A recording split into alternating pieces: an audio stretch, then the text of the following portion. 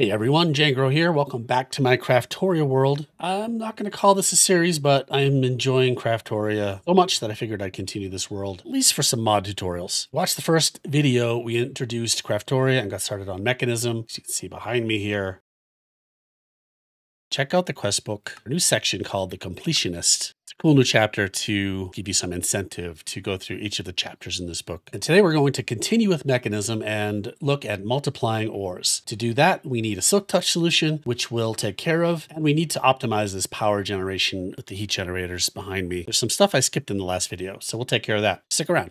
Before we get into it, please give me just a few seconds to thank our sponsor, Apex Hosting. I moved my Craftoria world to an Apex server so I can access it from a few different computers, invite friends to join in, plus I don't have to worry about backups. It's super easy to get set up with their one-click modpack installation. They've got always on servers, which makes hosting stress-free. If you're thinking of setting up your own server, Apex Hosting is a great way to go. If you do, use this discount code and my link, jangro.com slash apex. That supports the channel. Thanks for your support. All right, let's get into Mekanism. In the comments last time, a few of you pointed out to me that I did not set up the heat generators as optimally as I could have. That's because not all sides of these generators are touching lava and you can lava log them. So let's just fix that quickly. I'm to break these things. Okay, now if we take a look at these, this one's producing 20.8 FE per tick. You can see right here. The lava's flowing underneath these. So it has four sides, top, back, left, and bottom. This one only has three sides, top, back, and bottom, because it's got these generators on their sides. So there's a couple things we can do here. We can lava log a generator. So if I right click on it with a lava bucket, it'll fill it with lava. And now it's got an essentially an extra side. This one also is benefiting now from this one being lava logged. But so if we lava log these generators, now they're producing 38 and there's one more thing we can do is lava log these cables to get the front side. So let's put these machines back down again so lava won't pour all over the place. So this one's doing 38.4, put lava right here. But now these two are producing 48 now. Put the machine back here again and we'll lava log this one. That's giving us like maybe three times the generation that we had before. Much better. Did I get that right, guys? 48 FE per tick. Is that the max you can get out of a heat generator?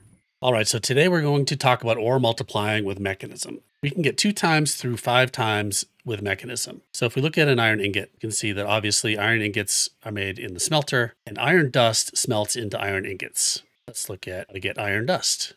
So the enrichment chamber, we saw this last time, three raw iron gives us four iron dust. However, one iron ore gives us, in an enrichment chamber, gives us two iron dust. So if we can silk touch iron ores, we can immediately get ore doubling with only the enrichment chamber. Of course, we need silk touch. We're going to take care of that next. So there's the first way. We just take those two, smelt them, we get ore doubling, but that is not good enough. We can do better with fortune on a pickaxe. You can get about 2.2 times with Fortune 3, and I think it's like 2.6 times with Fortune 4. So let's take a look again at the iron dust. We can also get iron dust from dirty iron dust, and we get dirty iron dust from an iron clump in a crusher. Now, how do we get iron clumps? We put iron ore into purification chamber with oxygen. It just so happens we have oxygen in our hydrolytic separator that we made last time. If we put raw iron into here, we're going to get ore doubling. So this is where the tripling happens out at this level. And from here, it just goes one to one all the way down to dust. So that's three times. Let's dig deeper. So we go out to the iron clump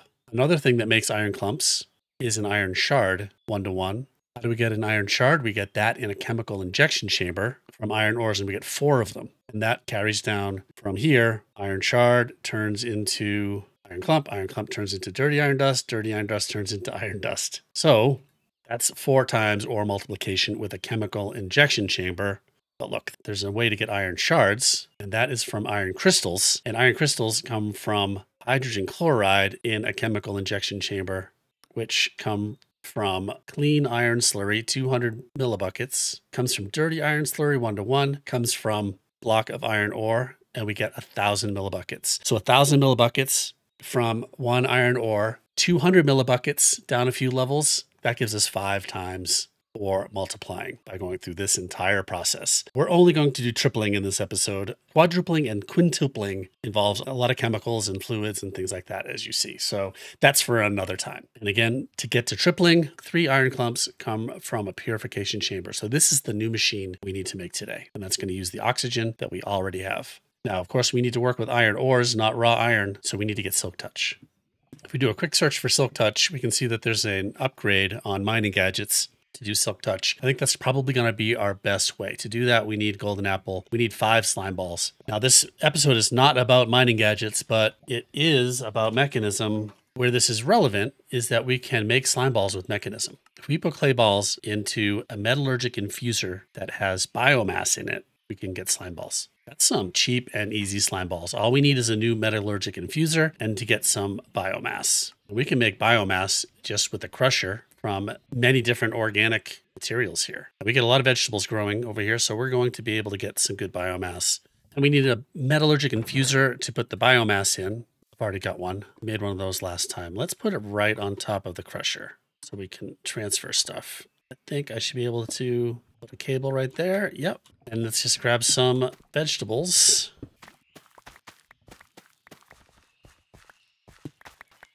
Now, if we put these things in the crusher, let's see.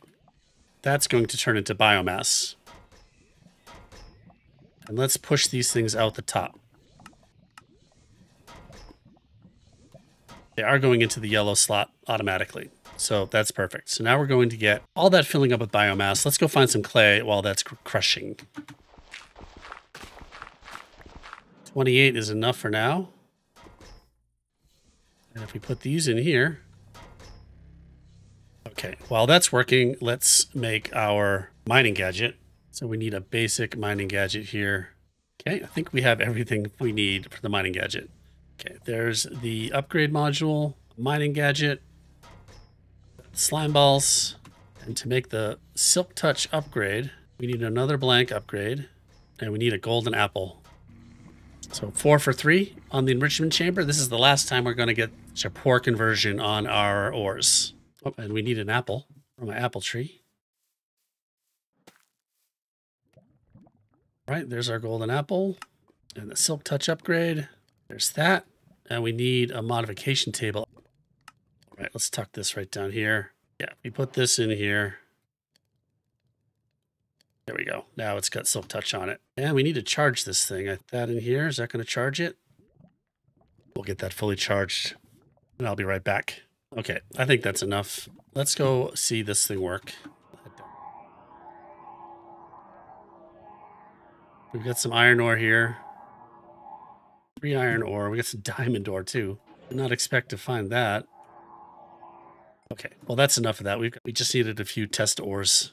All right, well, that was pretty fun. I put the mining gadget back in the heated generator. Let's triple these ores we got. To set up for this, there's a couple machines we already have made, a crusher and an enrichment chamber. So I've already got those. New machine is a purification chamber. We also need an energized smelter to round out this. I should have made this last time. I didn't quite have the materials. We're going to put this whole setup right here.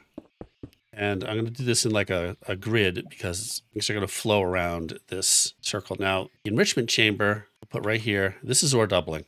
Let's make an energized smelter. That's easy. And we'll put this right here. Uh, let's get a barrel, a couple barrels too. This is going to be our output right here off this energized smelter. We'll configure this right here. Output is on the right input below is on the bottom. Perfect. Here, configure the output for the enrichment chamber is going to go up into the smelter. So let's put one copper ore in here. We'll watch this get doubled. This two copper went up into the energized smelter. Copper dust, that is. And I didn't turn eject on, so we'll do that. And the completed ingots come out into this barrel. There we go ore doubling. Easy.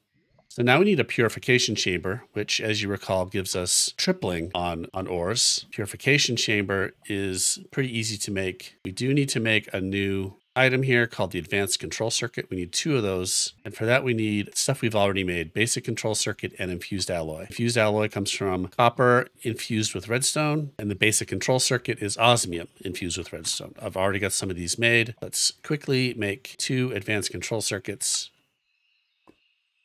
And now we can make, oh, we need another enrichment chamber. Easy. Purification chamber. There we go. Let's do it like this. And we also have these in the wrong order now. It's going to look like this. Let's first make sure we have the electrolytic separator configured to output oxygen on the right side. So chemicals, output 2.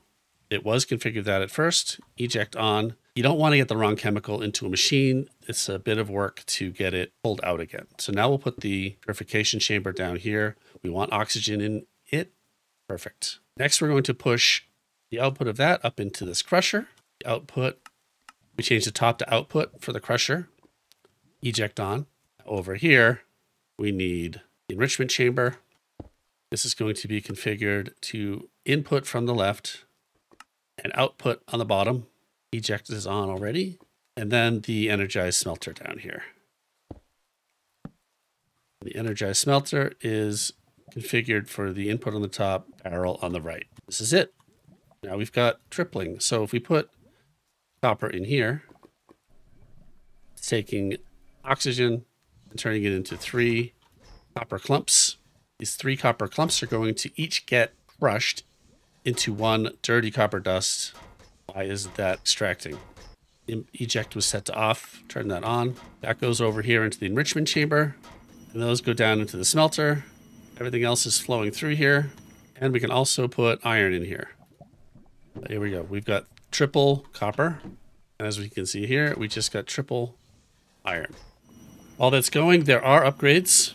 Right here, Mekanism has several upgrades, one of which is a speed upgrade, which you probably want to get to first. I don't know, maybe you want the muffling upgrade first, but the speed upgrade will help speed up these machines, and this process can go really fast. But you do want to be careful not to get too quickly into that because more speed uses more power and probably a little bit light on power at this point. There we go.